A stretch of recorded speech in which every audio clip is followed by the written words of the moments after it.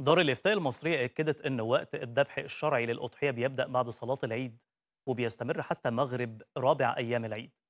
أوضحت دار الإفتاء في صفحتها على موقع التواصل الاجتماعي فيسبوك أنه نظرا للظروف الراهنة ووفقا لعدم إقامة صلاة العيد بسبب انتشار فيروس كورونا في هذا العام.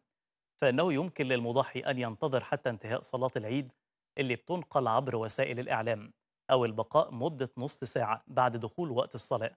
وهي المدة اللي بتستغرقها الصلاة والخطبة ثم يشرع في الذبح حتى تكون أضحيته صحيحة.